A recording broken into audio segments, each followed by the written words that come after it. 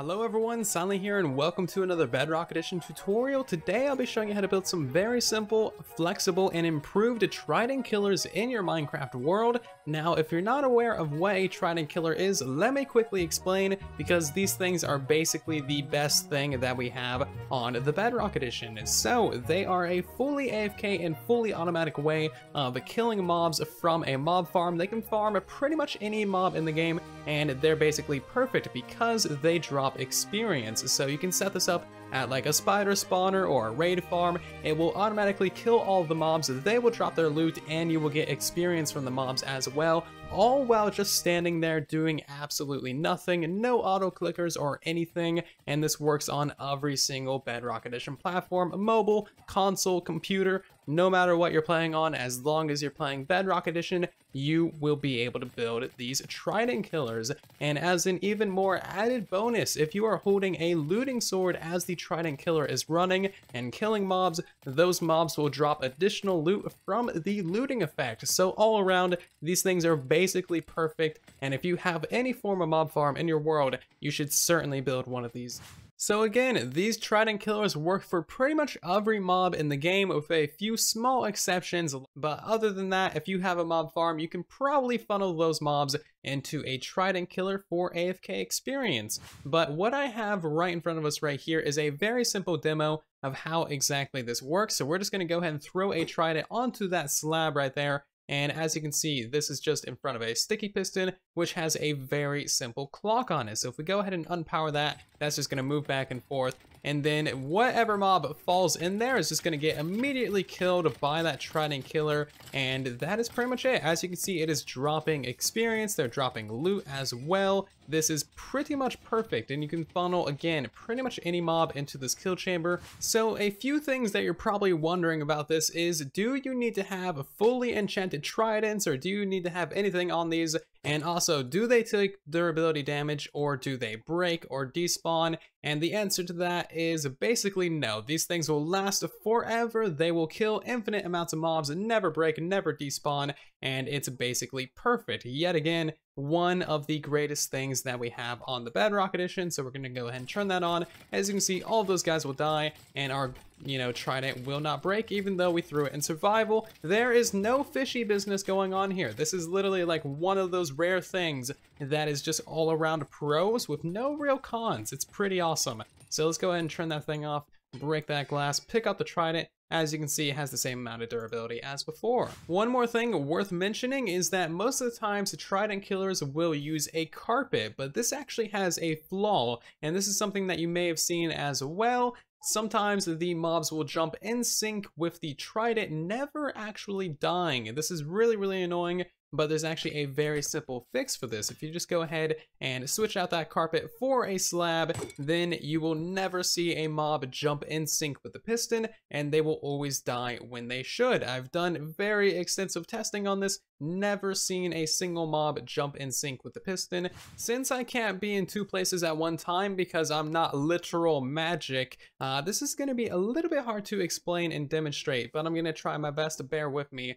But basically, the person who actually throws the trident, that trident is going to be tied to them. So this person needs to be online, and I think in the area for the trident killer to actually drop experience. And this person also has to be the person to hold the looting sword to get the looting effect. If this guy over here wants to use the trident killer, they are going to need to pick up the trident and then throw it themselves for it to work perfectly for them. So if you're playing on multiplayer server, keep that in mind. So the four different Trident killers that I'll be showing you how to build in this video are before you here. So the first one is a kind of fancy vertical one that I've never seen before. This one is a little bit slower since you have to give the items time to fall and be collected by the hopper minecart below. However, I think it's really fancy. You can't really see any of the pistons when it's offline and overall just kind of cool one. The second design is a slimeless version. So basically it just pushes all the mobs against a wall where a trident is stuck in the ground basically and this actually works surprisingly well however you should not use any zombies with this design because I have seen the baby zombies get stuck in the actual piston and never die. And you guys know how mischievous they are when they build up and start to group up. Not a fun time. So keep in mind, this one is only for non-zombie related mobs. The third design is more of your standard Trident killer with a two wide kill chamber, and this is the one that I would suggest building for about 99% of use cases, just super simple and straightforward, and you will pick up all of the experience as long as you stand all the way up against the blocks. Design number four is the Industrial Trident Killer. This is the one that you should use if you have any form of raid farm, zombie pigman farm, or just really any kind of farm that is really pumping out a lot of mobs very, very quickly. You may also need this one if you have more than like three or so spawners just to keep up with the sheer amount of mobs. This thing is absolutely killer and uh, yeah, very, very industrial. And now we're gonna hop into the tutorials for these four different Trident Killers. Of course, these are all pretty similar and pretty straightforward. However, each of these does have a little different tweaks and changes that are necessary to keep the mobs from actually glitching out and then being able to kill you. So definitely keep that in mind, but there will be timestamps on screen right now for the four different tutorials in this video. So skip around if you feel like it or watch it through all of them and fill your brain with knowledge. For design number one, we're gonna start off with this very basic setup, a double chest with a hopper going into it, hopper minecart above it with a rail facing to the side, and then right above that is gonna be your actual, you know, normal piston. This is gonna be your actual killing block where all the mobs die and where you collect the experience as well, so make sure you get this all lined up properly in your world. First thing we're going to do is put some solid blocks to the side of that hopper minecart, surround the piston with a ring of blocks on the backside, and then get a extended ring on the top area as well, with one slab right there. That'll keep mobs from seeing you and, you know, baby zombies and stuff from glitching out.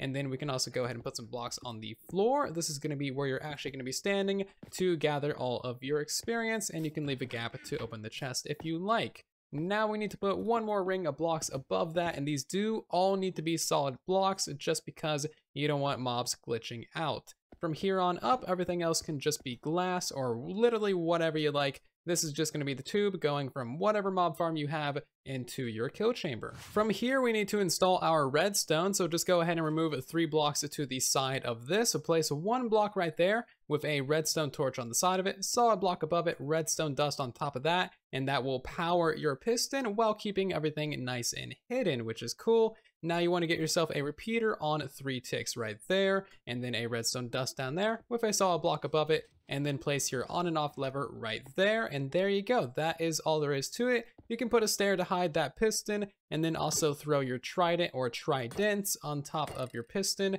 and let's just throw some mobs in there, see how this thing works. And as you can see, this thing is working just fine. So for design number one, it would appear that having more tridents on your piston does actually help. Whereas normally just one trident is enough. But yeah, having more tridents on this one definitely does seem to be killing mobs a lot faster than normal. For design number two, we're gonna start off with a similar setup, a double chest with two hoppers going into it. This one of course is going to be your main killing block and then just your normal piston to the side of that as well. Let's go ahead and surround that with a couple layers of solid blocks, one on the ground floor, one right here as well with your slab in place right there. That's how you're gonna see what's going on. Throw in your tridents and also get your experience too. And then let's move up and then one more layer of solid blocks right there. So that's pretty much your kill chamber done. Your actual drop chute is of course gonna be above this. So whatever mob farm you like is gonna be going right into your kill chamber. So now we need to remove these four blocks right here and install our actual redstone circuit. So we're gonna put one piece of redstone dust right there, a solid block right there, redstone torch with a solid block above it, repeater on whatever setting you like, solid block, and then a redstone torch right there. That is also going to power your piston.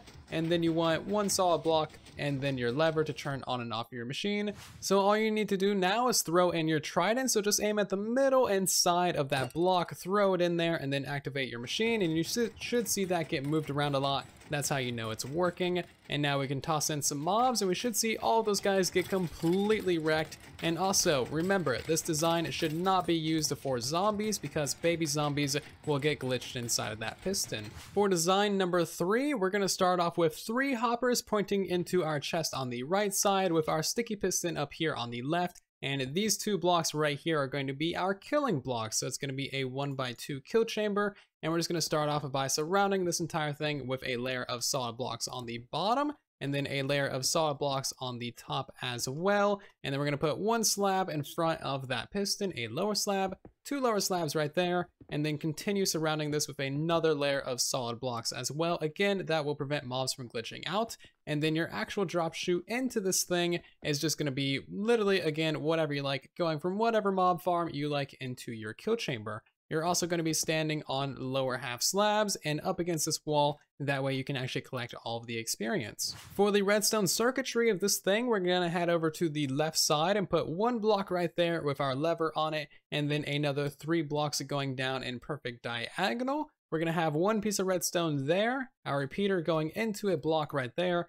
and then a piece of redstone underneath it with a redstone torch there powering everything. That is of course going to power your piston and it be your off switch. If you want to save a piece of redstone dust, you can remove all that and put your lever one block in, but I think that looks a little bit more ugly and isn't as convenient to turn off. So now, of course, we can go ahead and turn that thing off. Just throw your tridents right on the middle of that slab, as many as you like, although you only need one, and then we can drop in some mobs, and as you can see, it is working just fine. Moving on to design number four, this is the industrial one, and you only really need this for massive mob farms like pigman farms or raid farms or stuff like that.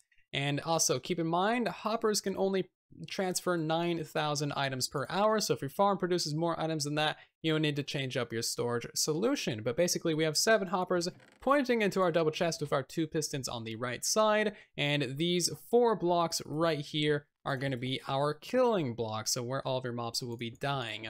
Now we're gonna go ahead and surround the lower area of this with some solid blocks going all the way around, just like so layer some on the middle layer as well, and then on the upper layer too, just to keep everything from glitching out. Now we're gonna place two slabs in front of those pistons, two more slabs right there so we can get our experience, and two solid blocks up. Now you will want to stand in this general area all the way up against this block to collect all of your experience. If you don't want to see the hoppers, you can cover them up with a solid block just like so. Of course, your drop chute is going to be right above this, so where all of your mobs fall into your kill chamber. And now we need to work on the redstone as well. You're going to have two solid blocks right behind your pistons with redstone dust on top of them, a block right here if your lever on it, and then just a couple more blocks like so. For your repeater on any setting, one redstone dust and a redstone torch that will of course power your pistons in unison and then you can turn it off as well. It'll probably be easiest to throw your tridents from above so you want at least one trident on the center of both of those slabs